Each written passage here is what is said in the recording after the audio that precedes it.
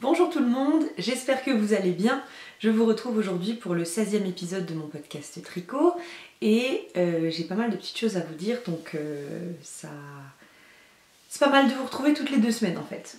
Euh, en tout cas, voilà, moi je suis Elodie, vous pouvez me retrouver sur YouTube, sur Instagram et sur mon blog avec le pseudo Nails Co. Et vous pouvez me retrouver sur Ravelry avec mon pseudo Elodie Knits. Comme d'habitude, je vous mets tout ça en barre d'infos. Euh, j'espère que vous allez bien. Il fait, pas... il fait beau mais il fait pas trop chaud euh, par chez moi donc euh, j'espère que c'est un petit peu pareil chez vous.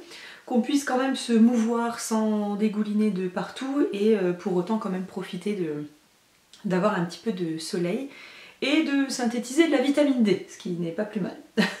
donc comme je vous disais aujourd'hui, j'ai plusieurs choses desquelles je veux vous parler. J'ai trois projets terminés. J'ai deux en cours desquels je vais vous parler. Et puis je vais vous parler aussi de celui qui va venir sur mes aiguilles juste après. Alors je vais commencer par le plus simple au niveau des projets terminés parce que je vous en ai déjà pas mal parlé et puis vous connaissez le modèle et tout. Pour ensuite vous parler de deux euh, tests qui vont bientôt sortir et dont je peux vous parler maintenant. Donc euh, voilà. Alors, petite paire de chaussettes que, qui était un encours la dernière fois et en fait elle était quasiment terminée cette paire puisque sur la deuxième chaussette il me restait que la pointe à faire. Donc euh, voilà, petite paire bien printanière sur le modèle des Monday Socks de José Paquin. Donc c'est UNI Knit sur Ravelry et sur Instagram. Et pour cette petite paire de chaussettes, euh, les modifications que je fais c'est toujours les mêmes. Je crois que je les mets à chaque fois dans, mes fiches Ravelry. Euh, déjà moi je tricote avec des mini circulaires et non pas avec des doubles pointes comme c'est mentionné dans le patron. Mais il n'y a aucune difficulté. Vous, vous vous placez des anneaux marqueurs et puis vous, vous faites comme si vous aviez euh, trois aiguilles. Euh, sinon, euh, au, niveau de la hauteur de côte, la hauteur de tige, la longueur de pied, tout ça, je fais des petites modifications, mais c'est rien de bien foufou. Et puis, je crois qu'elle fait des côtes de 2-2 dans le patron, alors que moi, je fais des 1-1, parce que c'est ce que j'aime bien. Au niveau des coloris, je vous avais dit la dernière fois, j'ai utilisé tournesol pour commencer les côtes, pour le talon et pour la pointe. Et ensuite le reste c'est une boulette de Anna du bruit des aiguilles.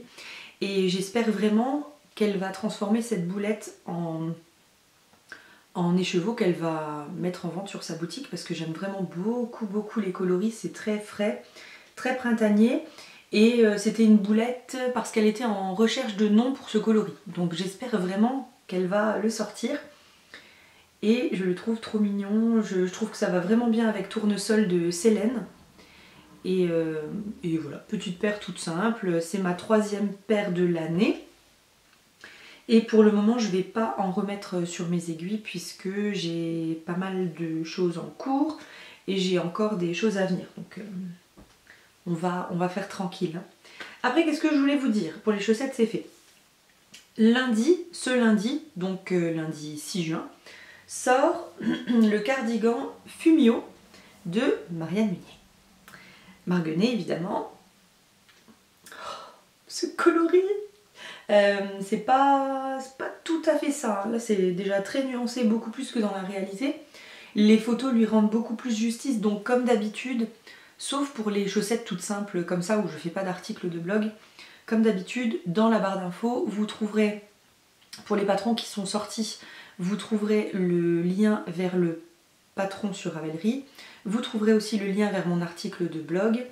Et vous trouverez aussi le détail des laines que j'ai utilisées. Donc, je vais déjà vous parler des laines. Cette petite merveille, c'est la base Fingers Crossed de, de Woolly Skin, Angélique, qui a sa petite boutique à Lyon.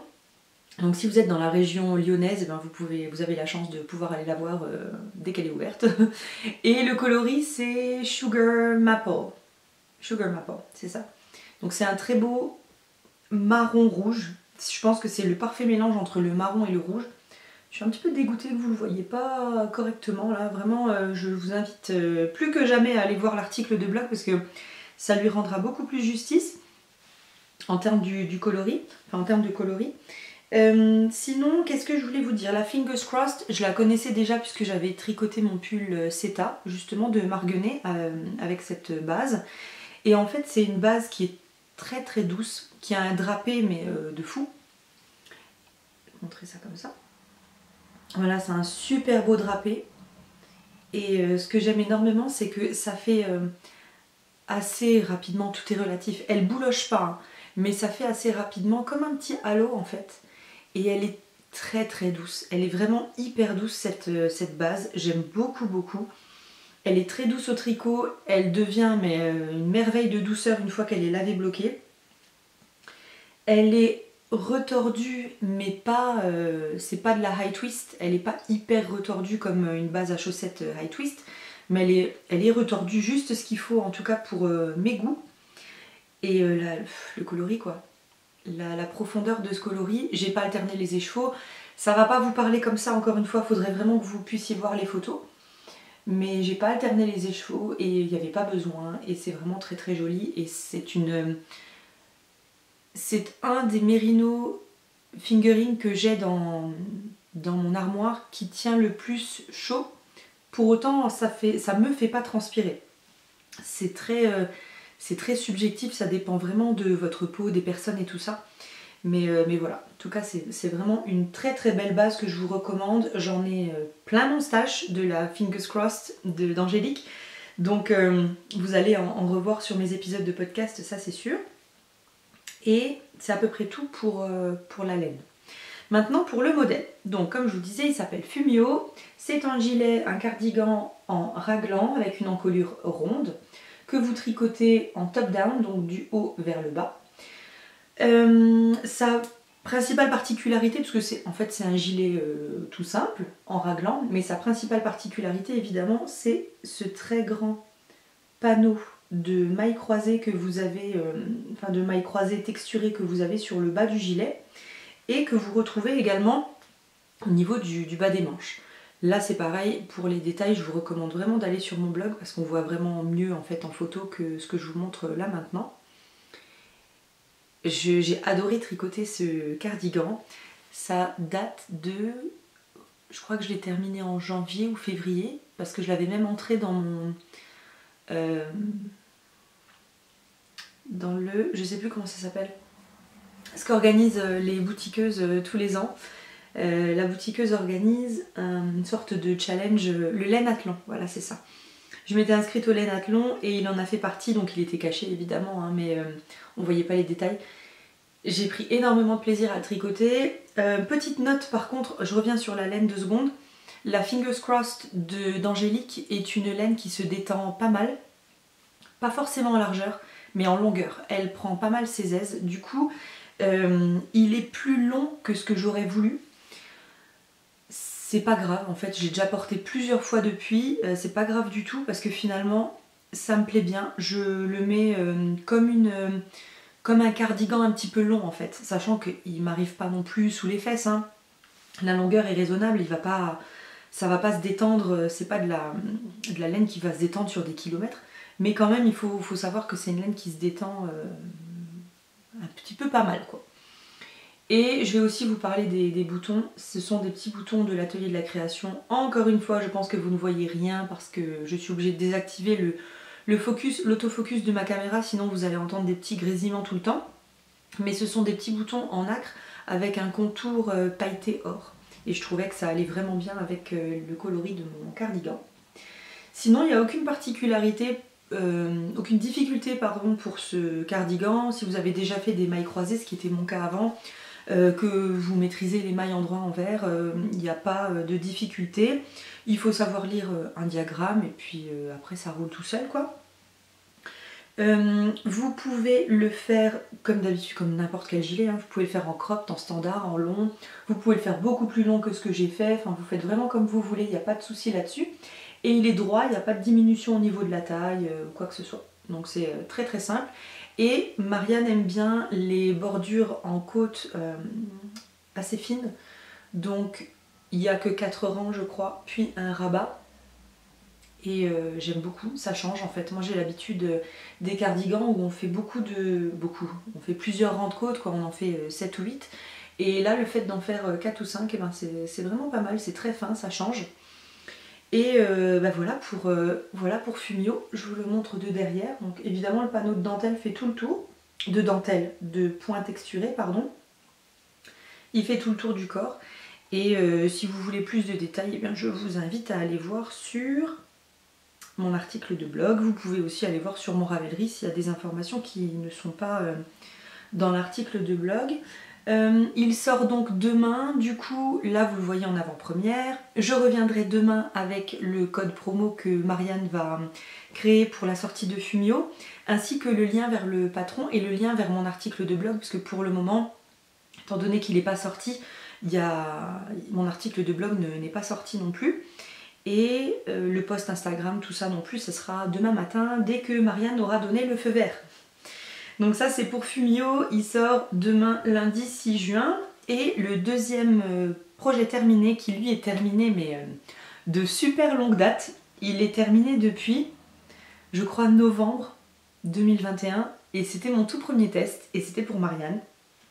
Donc vous voyez depuis, il y a eu plein d'autres tests qui sont sortis avant, que j'ai tricoté après, qui sont sortis avant. Mais euh, là, ça y est, c'est bon, c'est le moment. Je vous l'avais déjà présenté dans un article, dans un article, dans un épisode de podcast.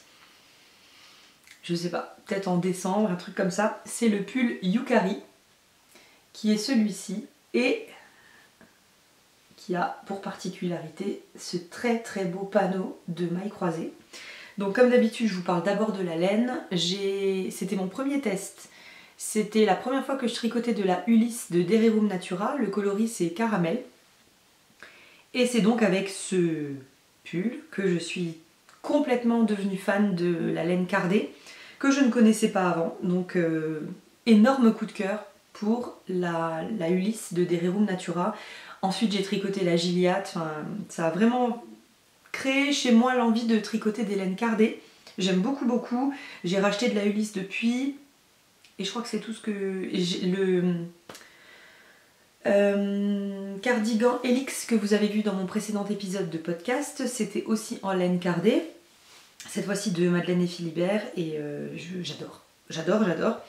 Donc ce, cette base, c'est une laine, comme je vous dis, qui est cardée. Le coloris, je vous l'ai dit, c'est caramel. J'avais envie de quelque chose de chaud. Je trouve que c'est une couleur qui me va particulièrement bien. Et euh, moi, j'adore cette couleur. Qu'est-ce que je voulais vous dire d'autre? C'est une laine qui, euh, qui se tricote bien, qui est sèche, qui ne me pique pas du tout. Pourtant, je suis sensible à plein de mohair. Mais euh, la Ulysse de Dererum Natura, je la supporte mais alors très très bien, même sur bras nus. Euh, qu'est-ce que je voulais vous dire d'autre? Elle se, voilà, elle tricote bien, elle est elle est sèche au tricot, au tricotage et euh, une fois qu'elle est lavée bloquée, elle s'adoucit vraiment, elle gagne en souplesse. Les petits, les petits espaces qui peuvent se créer entre les mailles, entre les rangs, etc. viennent se combler puisque c'est une laine qui va vraiment bien gonfler au lavage blocage. Et elle est parfaite aussi pour tout ce qui est euh, mailles croisées, points texturés, etc. Parce que je trouve que c'est...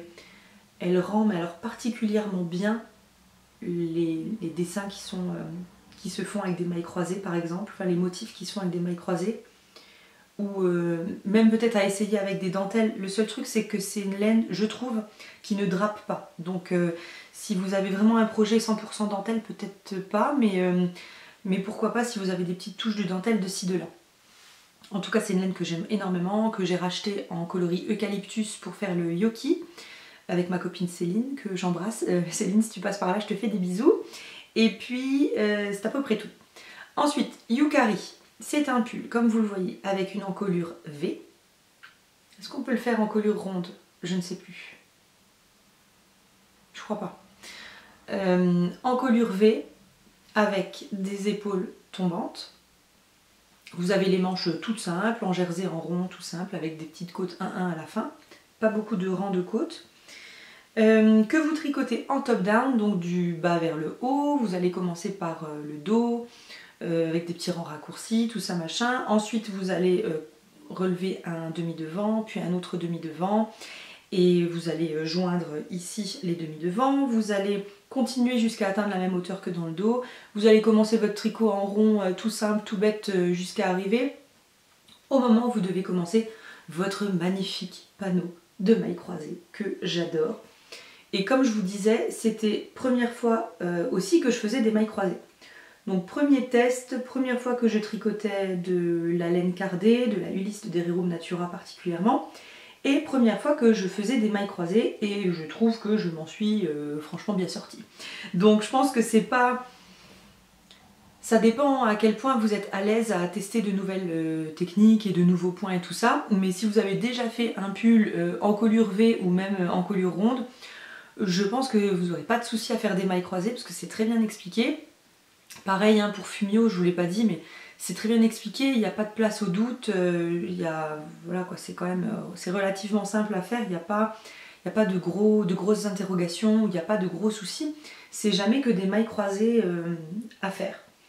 Et qui sont très bien expliquées avec un diagramme, tout ça, tout ça. Et puis vous finissez par un tout petit peu de côte en bas, le même nombre de côtes que euh, vous avez pour les poignets. Sur ce pull-ci, et c'était la dernière fois, si je ne me trompe pas, j'ai fait un rabat tubulaire au niveau des poignets, au niveau du bas du corps, mais aussi au niveau de l'encolure. Parce que la, la laine cardée étant un petit peu moins élastique que la Merino Superwash par exemple, ou une laine Superwash, c'était... Euh, l'encolure était un petit peu trop serrée, parce que moi j'ai le rabat serré de toute façon, donc j'ai fait euh, un rabat tubulaire qui s'est très bien passé, qui est très joli.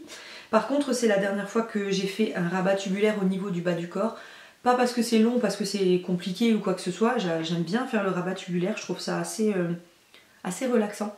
Le seul truc, c'est que ça a tendance à, à, rebiquer vers, euh, vers le haut. Donc j'ai trouvé que voilà, ce serait la dernière fois que je le ferais. Effectivement, je ne l'ai pas refait depuis. Euh, et, voilà, au niveau de la pointe du V, vous avez des doubles diminutions centrales, ce qui fait que c'est vraiment très joli, très net. Je l'adore. Comment vous dire que je l'ai porté?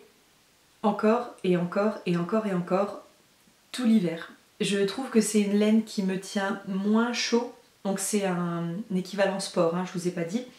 C'est une laine qui me tient moins chaud que la fingering euh, Superwash par exemple. Donc euh, quand j'avais froid mais que j'étais à l'intérieur et que du coup j'avais pas envie de trop me couvrir euh, de peur de transpirer ou quoi que ce soit, c'est lui que je mettais. Quand j'avais envie d'un pull à la cool, boxy, tout ça, donc ample, c'est lui que je mettais. Quand j'avais envie de marron, et eh ben c'est lui que je mettais. Donc franchement c'est... C'est un pull qui, est, euh, qui a une valeur sentimentale parce que comme je vous ai dit, premier test, euh, euh, première fois sur plein de points. Mais c'est surtout un pull que j'ai beaucoup porté parce que je l'aime énormément, j'aime beaucoup la laine, j'aime beaucoup le, motif. Et il est boxy mais sans faire négliger. C'est un petit peu ce qui me, rebute de faire le, boxy de Rory Locatelli par exemple, Puntia, ce genre de pull. C'est que j'ai peur que sur une personne qui est un peu ronde, ce qui est mon cas, ça fasse négliger. Je l'ai vu à chaque fois sur des personnes euh, ben, minces quoi, donc euh, je me dis, est-ce que c'est fait pour les personnes un peu rondes? Je ne sais pas. Lui, il sort le 13 euh, juin, donc pas lundi là, lundi prochain. Pareil, je reviendrai ici, je vous mettrai le code promo, je vous mettrai mon article de blog, je vous mettrai le lien vers le patron sur Ravelry, comme ça vous aurez tous les détails. Et voilà, n'hésitez pas à revenir. Et puis de toute façon, si vous me suivez sur Instagram ou sur le blog, c'est le genre d'information que vous ne pourrez pas manquer puisque je le mets à chaque fois dans mon article de blog, je mets le code promo, le lien vers le projet Ravelry, euh, vers le patron Ravelry, tout ça, tout ça. Donc vous ne pourrez pas manquer l'information si vous me suivez sur euh, une de ces deux plateformes euh, hors YouTube. Ensuite, on passe au projet en cours et j'en ai deux. J'en ai trois. Mais il y a le test pour Marie-Christine que je ne vais pas vous montrer. C'est donc euh, le pull euh, Ménué. Je vous l'ai montré la dernière fois euh, dans mon précédent épisode de podcast. Je vous l'ai montré en photo. Et je vous ai montré une photo de, celui de Marie-Christine en fait, quand elle l'a posté sur Instagram.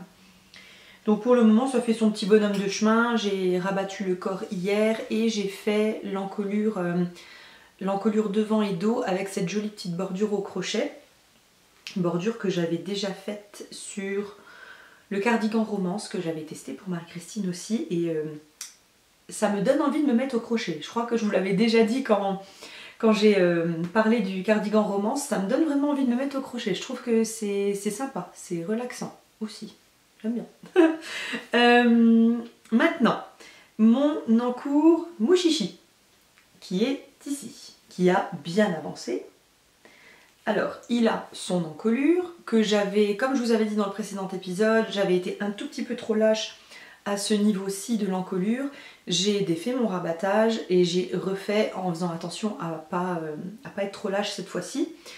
Et donc mon encolure est bonne, elle est faite. J'ai fait également les côtes au niveau des petits mancherons, ici et ici.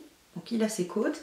Et là j'ai fait une répétition du motif et j'aimerais faire une deuxième répétition du motif pour qu'il soit vraiment euh, à la longueur que je veux, c'est-à-dire 38 cm. Là je suis à 32 je crois. Donc je vais probablement faire qu'une demi-répétition parce qu'une répétition c'est à peu près 16 cm. Donc je voudrais faire une demi-répétition, finir par euh, un tout petit peu de rente côte comme c'est prévu dans le patron. Mais là par contre j'ai plus de fil. Donc, appel à l'aide. Euh, parce que je sais qu'on en a discuté avec Marianne. Marianne, si tu passes par là, je ne veux pas te stresser. Euh, du coup, si l'un ou l'une d'entre vous avait un reste, quelque chose comme 40 grammes de Antigone, de Dererum Natura en coloris laurier, je vous le prends, je vous le rachète. Euh, parce que du coup là j'ai pas assez et j'aurais bien aimé le terminer avant de partir en vacances à la fin du mois de juin. Et euh, on en avait discuté avec Marianne, elle est justement en train de tricoter un, petit top comme ça dans cette base et ce coloris. Mais elle a d'autres deadlines et voilà, je veux pas la presser non plus. Donc, si l'un ou l'une d'entre vous a un reste, je veux bien vous le reprendre, s'il vous plaît. Et donc, euh, Mouchichi, je vous l'avais dit la dernière fois, c'est un top que j'avais tricoté. Je vous mets l'article de blog en, barre d'infos. Je l'avais tricoté l'année dernière et en fait, euh, je l'avais fait trop court. J'avais un, beau restant de laine, euh, mais même avec le restant de laine que j'avais, vous voyez que finalement je n'arrive pas à atteindre euh, la hauteur que je voudrais pour vraiment être sûre de le porter en toute occasion, sans gêne, sans rien. Le souci qu'il y avait aussi, c'est qu'il était trop ajouré, et là je pense qu'on est d'accord que c'est franchement pas mal du tout, parce que si je mets ma main, même là, on voit mon pouce, mais euh, enfin, on voit pas la couleur de mon vernis, quoi. Vous voyez, la dernière fois c'était vraiment très ajouré. Donc euh, je l'ai détricoté entièrement, j'ai refait des, des échauds, je les ai mis à tremper, je les ai laissés sécher, je les ai mis en cake et puis tada Mouchichi était né à nouveau. Donc je l'ai vraiment entièrement détricoté et je le retricote avec autant de plaisir que l'année dernière voire même plus puisque euh, j'ai euh, j'ai un peu plus d'expérience en tricot et donc euh, maintenant la, dentelle me fait beaucoup moins peur. J'ai pas besoin de regarder mon diagramme constamment. Je fais la première section donc entre deux anneaux marqueurs. J'ai séparé chaque, euh, chaque section en fait euh, du diagramme entre deux anneaux marqueurs. Et en fait je fais le premier et après les autres je peux le faire de, de tête. J'ai pas besoin de me référer au patron à chaque fois. Donc c'est vraiment un très grand plaisir de le retricoter. Il serait terminé si j'avais eu encore du fil et j'ai pas envie de racheter une pelote de 100 grammes parce que 100 grammes ça fait quand même 260 mètres alors que je sais que je les utiliserai pas et mon but c'était vraiment d'avoir euh, zéro reste. Donc si vous avez même, euh, même 30 grammes, franchement je pense que ça peut le faire. 30 ou 40 grammes, euh, je, vous je vous rachète le reste avec plaisir que je puisse terminer mon mouchichi. Et c'est tout pour mouchichi. Ensuite, euh, je vous ai pas dit, Mouchichi c'est un patron de Marianne Munier, donc Marguenet, et je le tricote en Antigone, donc c'est une base 100% lin bio de Dererum Natura que j'aime toujours autant. Voilà, je passe pas trop de temps dessus parce que c'est un en cours et puis je l'ai déjà tricoté l'année dernière, je vous avais déjà fait part de mon ressenti sur euh, le patron, sur euh, le, fil, etc. Donc voilà, ça sert à rien de passer trop de temps dessus. D'autant que si je le recommence, vous vous doutez bien que j'aime énormément le patron, sinon j'aurais tout simplement fait autre chose avec ce fil. Ensuite, en deuxième en cours, j'ai commencé avec les copines le pull Paris-Brest de Loli Lafay, donc Lolita, et j'en suis ici. Voilà. Donc comme vous vous en doutez, c'est un pull qui se tricote du bas vers le haut. On commence par les côtes, on fait un petit peu de jersey, on introduit euh, un coloris contrastant. Vous n'êtes absolument pas obligé d'avoir autant de coloris contrastants que moi. J'ai voulu faire un coloris, une rayure. Donc euh, vous pouvez faire en, un seul coloris. C'est comme ça que Lolita l'a présenté. Et euh, voilà, je vais juste enchaîner sur les laines d'abord. Je le tricote en coloris principal en base albertine de Dererum Natura coloris Orja, qui est un écru qui tire vers le gris. Donc c'est pas du tout leur base crème, ça tire pas vers le jaune, c'est vraiment froid comme coloris. Et justement comme le, kit que j'avais, c'est un kit avec des, roses et des prunes froids, je me suis dit que ça irait mieux qu'un coloris crème. Et de toute façon, le coloris crème de d'Erirum Natura, je le trouve un peu trop jaune quand même. Alors certes, j'ai des sous-tons jaunes dans ma peau, mais je voulais pas non plus... Euh, c'était trop... Euh, comment dire C'est vraiment trop marqué jaune pour moi. Et euh, je me suis pas trompée sur Orja, c'est le coloris parfait que je cherchais. c'est un pull pour lequel j'utilise également un gros reste que j'avais de coloris Mindset sur sa base Kubrick Fingering de Big Bad Yarn, donc Imogène. Ici et ici, ainsi que euh, deux autres coloris que je vais vous montrer après. C'est, euh, ça fait partie du kit, euh, du bouquet de 5 mini de 20 grammes de Hélène Hélène coloris à la faveur de l'automne. Il y a un mauve grisé que je vous avais montré la dernière fois que je ne vais pas utiliser parce qu'en fait ça, tranche dans la mesure où euh, on part d'un... Enfin moi j'ai un prune très foncé. J'ai un prune un petit peu rose. Ici j'ai un vieux rose ou un bois de rose. Ensuite ma copine Émilie, Émilie sur Instagram, je vous mets son pseudo en barre d'infos, a été adorable et elle m'a envoyé un gros reste de chagrin d'école de Big Bad Yarn à nouveau qui est un coloris que je connais puisque je l'ai utilisé pour un test que vous verrez plus tard dans l'année. Et euh, ce qu'il y a eu, c'est que j'avais tout le temps ce coloris en tête, mais euh, euh, Imogen n'a pas encore repris son activité pour le moment, donc je ne peux pas lui acheter un écheveau. Et je voyais vraiment ce coloris pour aller au-dessus de celui-ci, sachant qu'ensuite vous avez les deux là qui vont venir. Alors je sais pas ce que vous vous en pensez, mais moi j'avais vraiment ça en tête et euh, de mon test il ne me restait à rien, pas un centimètre de, laine. Euh, ce qui m'embêtait d'ailleurs parce qu'il m'aurait vraiment fallu un quatrième écheveau pour que je puisse le rallonger un petit peu. Les photos sont prises et tout ça, mais j'aimerais vraiment, depuis que j'ai pris les photos, je l'ai porté, j'aimerais vraiment rallonger le, pull que j'ai fait en test. Et euh, je me disais tout le temps, oh, il me faudrait un écheveau, il me faudrait un écheveau, mais euh, Imogen n'a pas, repris son activité pour le moment, donc euh, je me suis dit voilà, bah tant pis, on va faire avec. Et quand Émilie m'a proposé ça sur notre petit groupe Instagram concernant le test, voilà, trop adorable, vraiment trop trop adorable. Je lui ai tout de suite dit oh oui oui oui merci. Donc elle est adorable parce qu'elle me l'a offert. je crois qu'elle m'a dit qu'il y a 54 grammes et elle m'a offert ce gros reste. Et en plus elle m'a offert autre chose, je vais vous montrer ça. J'étais trop émue et trop touchée et euh, trop contente et vraiment... Euh, enfin, j'ai même pas de mots pour vous dire à quel point c'était adorable. Donc Émilie, si tu passes par là, encore merci. Merci, merci, merci, merci. C'est trop chou, c'est adorable. Euh, ça va me permettre de rallonger mon pull, ça va me permettre de faire Paris-Brest. Et comme elle me le disait sur, en privé l'autre jour, elle me disait bah, comme ça, quand tu mettras ton Paris-Brest, ou ton pull en test, euh, tu auras toujours un petit bout de moi avec toi et c'est vrai et c'est trop mignon.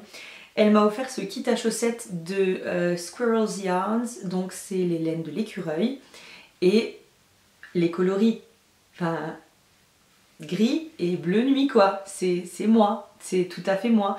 Donc euh, je suis trop contente, je vais pouvoir tester ces laines-ci. C'est donc les laines de l'écureuil, sont teintes à la main. C'est le kit chaussettes S, tourbillon amande fingering, 75% mérino superwash et 25% nylon. Les euh, laines bleues, donc vous avez deux boulettes de 25 grammes chacune pour à peu près 106 mètres. Et le gris, c'est le contrastant, et il y a 20 grammes pour à peu près 85 mètres. Le coloris bleu c'est Abyss et le coloris gris c'est éclat d'argent et euh, c'est tout ce que j'aime. Donc euh, merci, merci, merci beaucoup. Je suis trop contente et euh, je, voulais vous en parler parce que c'est vraiment une attention qui m'a extrêmement touchée. Donc voilà, je voulais vous en parler, d'autant que ça a un, lien avec mon encours puisque c'est grâce à Émilie que j'ai trouvé une transition entre cette couleur-ci qui vient du kit, euh, enfin du bouquet à la faveur de l'automne de Hélène Hélène et celle-ci qui vient également de ce bouquet. il me fallait une transition et je pense que la transition est parfaite. Voilà. J'adore. Moi je suis convaincue. Et la raison pour laquelle il me faut 6 coloris et non 5 comme dans le patron de Lolita, c'est parce que j'ai l'intention de rallonger en fait le, pull. Et plutôt que... Euh, je sais que Lolita propose, vous faites vos 5 rayures, donc les rayures sont... Euh, plus vous montez vers le haut du corps, plus elles sont fines, les rayures de contrastant plutôt que de, faire ce qu'elle recommande, c'est-à-dire une fois que vous avez terminé votre rayure la plus fine en haut, vous tricotez un petit peu plus de jersey que prévu dans le patron. J'avais envie d'ajouter une sixième, couleur parce que je me suis dit que ça allait bah, rallonger le pull en même temps et puis que ça allait pouvoir, euh, ça allait me, me faire un dégradé un petit peu plus fondu. Sinon ça faisait un petit peu trop color block quand même et ça me, ça me gênait un petit peu.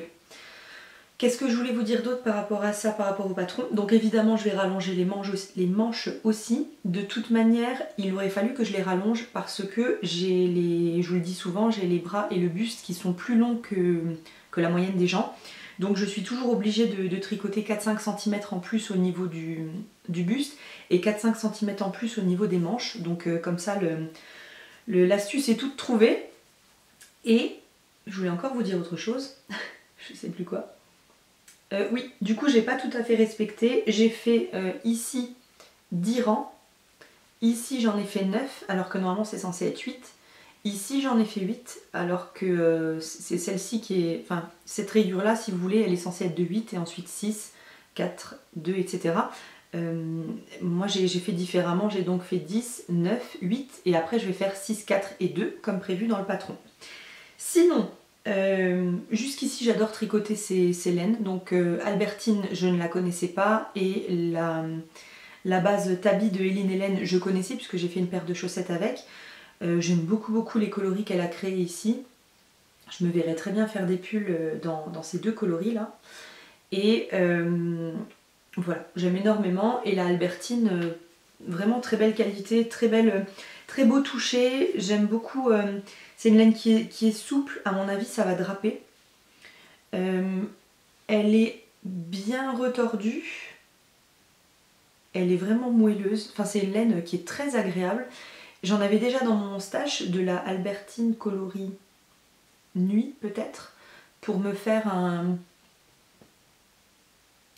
pull Matilda de Elong avec Anna, ce serait le deuxième que, que je ferais ou alors pour me faire le cardigan Yagami de Marguenet. Je ne sais pas encore lequel je vais faire avec, mais c'est un des deux, en tout cas c'est sûr. Et euh, voilà, je l'avais dans mon stage, mais je la connaissais pas. Ce que j'ai fait, c'est que j'ai utilisé cette pelote-ci pour faire un échantillon, pour voir comment euh, je m'en sortais par rapport au patron. Il s'avère que je suis un tout petit, mon échantillon est un tout petit peu plus grand que le patron. Donc je fais la taille 110, 105. 105 et ça va me faire une taille 110. J'ai oublié de vous dire les tailles. Mon gilet fumio. ah cet épisode ça va être n'importe quoi. Hein. Pourtant il est préparé hein, mais ça va être n'importe quoi. Mon gilet fumio. Ce sont des détails que vous retrouvez sur mon blog hein, et que vous retrouvez aussi sur les posts Instagram. Euh, mon gilet fumio, où il est? Il est là, je l'ai fait je crois en taille 42 si je ne me gourre pas, c'est ça, en taille 42, j'ai tricoté en 3,5. Ensuite, le pull Yukari. Yukari. Euh, j'ai fait la taille 113 cm et je l'ai tricoté en 4 mm. Voilà, si ça peut vous aider, mais comme je vous dis, tout est dans la barre d'infos. Euh, les articles de blog seront, euh, quand ils seront parus, vous aurez tout dedans. Sinon, vous pouvez aller chercher sur mon Ravelry, tout est déjà dessus. Je reviens à Paris-Brest. Accrochez-vous, ça va bien se passer, vous allez voir. Donc là voilà, j'en suis à la troisième rayure. J'ai reçu mon, mon beau reste de chagrin d'école hier. Donc je vais pouvoir enchaîner, mais d'abord je voudrais quand même terminer le pull euh, ménué que je fais donc en test pour Marie-Christine parce que comme je vous disais, le corps est entièrement fait, l'encolure aussi. Il n'y a plus que les manches à faire et j'aimerais bien euh, liquider les manches, comme ça ensuite je peux laver, bloquer le pull et l'essayer parce qu'en termes de longueur, je l'ai fait plus longue d'habitude, je suis pas super convaincue. Donc je veux voir comment la laine va déjà se comporter au lavage blocage pour voir si ça apporte le blouson que je voulais et qui m'a conduite à le faire plus long. Si c'est pas le cas, bah, je vais détricoter les côtes, raccourcir, enfin voilà. Donc c'est pour ça, je voudrais vraiment euh, bien, bien carburé sur le pull que je fais pour Marie-Christine. Et sachant qu'en plus, Paris-Brest est un pull qui va me suivre avec moi en vacances. Il va venir avec moi, il sera dans ma valise. Et je compte bien le tricoter en Bretagne, à la plage. Euh, je le fais donc comme je vous disais en taille 105. Mon échantillon étant plus grand, ça va me faire à peu près 110. Donc ça devrait être boxy mais pas euh, ultra boxy. Les manches vont être quand même euh, ici, je pense, trois quarts. Même si j'ajoute une couleur, comme je vous dis, j'ai les bras vraiment longs. Et ça me convient bien d'ailleurs, parce que plus court, j'aime pas trop. Donc si c'est par ici, c'est très bien. Ça m'arrangera. Et euh, je crois que j'ai rien d'autre de particulier à vous dire. Si, si vous voulez nous rejoindre sur euh, le cal, eh bien n'hésitez pas. Vous me faites un petit coucou par ici ou sur Instagram et euh, je vous ajoute à notre groupe qui est, qui est plutôt pas, pas, tenu mais il est plutôt organisé par, par Fanny, Fanny Bru. Euh, euh, et, voilà, donc on est déjà plein de, plein de copines à tricoter ensemble le Paris-Brest. Il y en a qui n'ont pas commencé, qui vont commencer plus tard. Enfin, c'est vraiment un cal euh, sans stress. Hein. donc si vous ne vous comptez pas le commencer tout de suite, vous pouvez tout à fait nous rejoindre, terminer vos encours. Vous pouvez aussi terminer le Paris-Brest si vous l'aviez commencé, je sais pas, moi il y a quelques mois et vous l'avez mis en pause. Vous pouvez nous rejoindre, enfin il y a vraiment... faites ce que vous voulez quoi, mais vous pouvez nous, nous rejoindre en tous les cas, il n'y a pas de problème je crois que c'est bon. C'est ça. Ensuite, à venir, donc quand j'aurai terminé mes nuées, euh, je vais pas forcément me jeter sur Paris-Brest. J'ai un cardigan en test pour euh, Marianne que je vais commencer. Donc euh, dès que les manches sont terminées, je lave, je bloque mes nuées et ensuite je monte ce cardigan. Encore une fois, bah, vous ne saurez rien tant qu'il sortira, euh, tant qu'il sera pas sorti. Euh, sinon, ce que je vais faire aussi, et là je reprends mes petites, euh, une petite boulette de cerise de By Simone. Si vous vous souvenez de l'épisode de la dernière fois, je vous disais qu'avec ma copine Lorenza, nous allions faire le Zaza, elle en Madame Rêve et moi en cerise de By Simone. C'est toujours prévu, c'est juste que je me suis rendu compte que j'avais quand même pas mal de gros projets sur mes aiguilles en même temps et que j'avais envie de d'espacer avant de lancer euh, Zaza. Et euh, il me faudrait de toute façon un quatrième écheveau, ce dont je me suis rendu compte après, puisque mon échantillon est identique en nombre de mailles.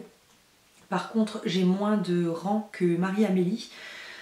Et moi qui rallonge toujours les pulls et les manches et tout ça, ben, clairement ça va faire que je vais manquer de laine. Donc, euh, en attendant que Simone fasse euh, le réassort, pour le moment elle est plutôt sur les fils d'été, ce que je comprends tout à fait, puisque nous sommes au printemps, la saison à venir c'est l'été, donc je, comprends qu'elle n'est pas à son agenda de teindre de la Merino Fingering Superwash, en plus dans un coloris qui est plutôt automne-hiver quoi, cerise, donc euh, aucun souci, je, continue à zioter sa boutique et euh, en attendant je me suis dit que puisque je vais racheter un quatrième écheveau et que je ne vais pas l'utiliser en entier, j'allais faire un petit cadeau pour la maîtresse et pour l'assistante euh, scolaire de la maîtresse de ma fille. La maîtresse de ma fille, sa couleur préférée c'est le rouge. Et ça a l'air d'être ce rouge parce qu'à chaque fois que je l'ai vue, elle avait du rouge plutôt comme ça, euh, en vêtements. Donc je me suis dit que j'allais euh, suivre les recommandations de ma copine de tricoter Céline, Madame Bibiche.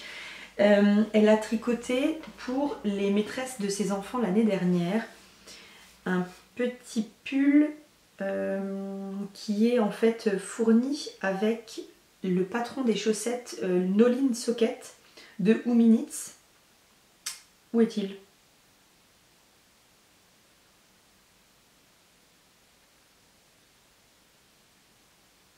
Là. Donc le patron, les chaussettes ce sont celles-ci, ce sont des petites soquettes. Euh, surtout que je suis en plein dans une période où je me dis qu'il faut que je me fasse des soquettes parce que j'ai jeté mes dernières... Euh, non, il me reste encore deux paires de chaussettes basses du commerce et euh, toutes les autres je les ai trouées. Et en fait je trouve que c'est vraiment pas mal parce que vous avez un renfort au niveau du, dessous du pied. Vous avez ce qui m'a l'air d'être un talon en œil de perdrix. Et puis voilà des petites côtes, tout ça. Donc je me suis dit que ça pouvait être sympa. Donc j'ai acheté le patron. Il était à 5 euros avec le taux de change actuel. Et elle vous offre en même temps le patron, il est donc dedans, hein, pour faire ce petit pull que vous pouvez monter en, broche, que vous pouvez monter, en porte-clés, que vous pouvez suspendre, enfin vous faites un petit peu ce que vous voulez avec. Et elle dit que vous pouvez utiliser des restes ou ou euh, des, petits fils, des petits bouts de fil qui restent, euh, ou une laine que vous n'avez pas aimé porter, ben, vous pouvez euh, transformer ça en petit pull. Et donc je me suis dit que j'allais faire ça pour la maîtresse de ma fille comme cadeau de fin d'année scolaire. Et voilà. Et je pense que ça peut le faire. après je garantis pas qu'elle va aimer, mais en tout cas ça sera je pense une jolie petite attention. Et il me reste maintenant à connaître le coloris préféré de l'assistante de la maîtresse. Euh, donc ça, ça sera ça. Et ensuite, un petit peu plus tard, quand euh, Lorenza et moi, on aura fini chacune de notre côté euh, ce qu'on a à faire comme gros projet, si on se lancera dans, dans Zaza, et puis je le mettrai en pause le temps que Simone refasse des écheveaux de cerises. Donc c'est pas un souci. Et par contre, ce que j'ai eu l'autre jour, je, me disais j'ai envie de faire un châle, j'ai envie de faire un châle et j'ai de quoi faire un châle puisque je vous avais dit que pour le Cardinia Wrap de Amba O'Brien, j'ai euh, trois écheveaux de la bien-aimée qui sont magnifiques mais qui sont quand même très automnaux, hivernaux, c'est du cachemérino, donc mérino cachemire. Les coloris sont euh, Rust et Santoki, donc un gris avec de, gros, grosses nuances euh, rouille très profonde et un rouille justement. Et je me suis dit bon, pas tellement envie de tricoter du, du mérino cachemire euh, à la plage. Et j'ai eu une révélation. En regardant les épisodes de vlog de Lauriane L'eau demoiselle, j'ai vu il y a quelque temps qu'elle avait fait le châle Ultra Rêve de Nathalie de By Night. Et j'avais flashé dessus. Et je me suis dit tout à coup, J'aimerais bien faire un châle euh, sans racheter de laine parce que stache qui déborde, tout ça machin, c'est bon. Faut être raisonnable maintenant, là c'est bon. Et la dernière fois, je fouillais dans mon stash et pour organiser un petit peu mes laines à chaussettes. Et j'ai revu cette petite merveille que j'ai achetée à Yarneline, qui est le coloris Madame Maya. Et euh, ça fait partie de ces exclusives que j'ai achetées en début d'année, je crois. Euh, une collection de laine à speckles avec de jolies nuances. Les bains sont uniques et non reproductibles. C'est une laine 80% mérino superwash et 20% nylon high twist. 400 mètres pour 100 grammes environ. Je me disais, j'aimerais bien en faire un châle plutôt que des chaussettes en fait. J'ai tout le temps eu ça en fait en tête, mais j'arrivais pas à trouver quoi. Et un écheveau, euh, un châle à un écheveau unique, ça me convient pas. Moi, je veux quand même quelque chose, euh, un châle dans lequel je puisse vraiment m'envelopper, même si c'est pour euh, le printemps, l'été, le début de l'automne, tout ça. Euh, même pourquoi pas l'hiver, hein, pour faire un pop de couleurs et tout. quand on a des tenues bien sobres, bien hivernales, bien grises et bien noires, je me suis dit, je, veux quelque chose à deux écheveaux.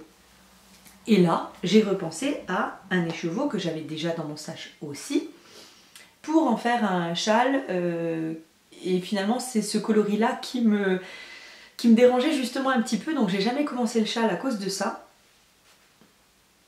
Bouton d'or et les trois ours de La Féfile en base 100% Merino Superwash Fingering environ 400 mètres pour 100 grammes. Et donc j'ai mes deux écheveaux pour faire Ultra Rêve de By Night Création de Nathalie et je vais m'empresser d'aller bobiner ces écheveaux juste après euh, avoir mis euh, stop sur la vidéo parce que vraiment j'ai trop envie de, monter un châle euh, j'ai besoin de faire autre chose j'ai fait des pulls, j'ai fait des tops, j'ai fait des cardigans j'ai fait des mailles croisées, j'ai fait de la dentelle, je prends toujours plaisir à tricoter et à tricoter ses points, même à tricoter du jersey en rond tout simple, tout bête. Euh, j'ai découvert les chaussettes, euh, voilà. Là maintenant tout de suite j'ai besoin d'apprendre quelque chose de nouveau ou du moins de tester quelque chose que j'ai jamais testé et c'est le moment parfait pour tester un châle je crois. Donc je sais pas ce que vous pensez de ce duo mais je trouve que ça m'ira plutôt pas mal et je suis absolument convaincue par, euh, les deux ensemble parce que dans, ce, dans cet écheveau vous avez justement du jaune qui claque bien un petit peu comme Bouton d'or et les trois ours donc il y en a un petit peu partout. Si euh, bah, vous en avez là au bout. Voilà. Et je, trouve que ça ira vraiment bien ensemble. Donc je suis pressée de le monter. Ça va être fait euh, rapidement. Dès que, dès que mes nuées est au euh, lavage blocage, je monte le châle et je monte le cardigan pour Marianne en même temps, puisque finalement il me restera. J'aurai plus que 3 ans cours. je sais que c'est un peu, un, peu, un peu risible à dire, parce qu'il y en a beaucoup d'entre vous quand même qui me disent qu'elles sont euh, monoprojets, ce que je comprends complètement. Mais moi j'ai vraiment besoin en fait de. J'ai besoin de sauter du coq à l'âne, j'ai besoin d'avoir plusieurs projets, sinon je m'ennuie et j'ai pas envie de m'ennuyer en tricotant parce que j'adore tricoter donc c'est simplement à moi de trouver des, des, astuces pour pas, pas m'ennuyer et donc euh, le fait d'avoir plusieurs projets, et eh bien ça me permet de, stimuler euh, mon cerveau et de et d'aimer euh, voilà, d'aimer chaque moment tricot que je m'accorde. Donc ça ce sera pour plus tard. Et c'est tout, puisque comme je vous disais, là j'ai toujours mon chichi. N'oubliez pas si vous avez un reste, pensez à moi, je vous le rachète avec plaisir. Euh, sinon sur mes aiguilles vraiment actifs, il y a Ménuet, il y a Paris-Brest. Et euh, quand Ménuet sera lavé bloqué, je vais monter le châle et le cardigan. Donc euh, il me restera toujours Mouchichi en dormance on va dire. Et puis, et puis j'aurai Paris-Brest, le châle et le cardigan pour Marianne. Et ça me semble pas mal. Ce sont les trois projets qui vont euh, m'accompagner en vacances justement, donc euh, j'aurai pas de quoi m'ennuyer. Voilà, c'est à peu près tout pour cet épisode. Je vous remercie de l'avoir regardé. J'espère qu'il vous a plu. J'espère que c'était pas trop brouillon pour vous, que vous avez tenu le coup par rapport à tous les retours en arrière là. Euh, sinon, exceptionnellement, la prochaine fois qu'on se revoit, c'est dans trois semaines et pas dans deux semaines parce que même si ça vous plaît beaucoup de ce que vous m'avez dit, euh, et ça me plaît beaucoup aussi, je vous reverrai le 26 pour pas, parce que le 26 je pars en vacances, donc pour pas avoir un trop grand trou sans euh, podcast et pour ne pas avoir 3 millions de choses à vous dire quand je vais rentrer de vacances, je me dis qu'il vaut mieux que je me laisse trois semaines là Ensuite, je pars en vacances et je vous retrouve après les vacances. Sinon, ça va faire 5 euh, semaines, euh, presque 5 semaines et demie en rentrant de vacances. Donc ça va faire un, épisode trop long et euh, j'ai pas envie de vous imposer ça. Donc là, je vous retrouve le dimanche 26 juin et je vous souhaite donc un bon mois de juin. Je vous fais de gros bisous et je vous dis à très bientôt. Prenez surtout du temps pour vous. Salut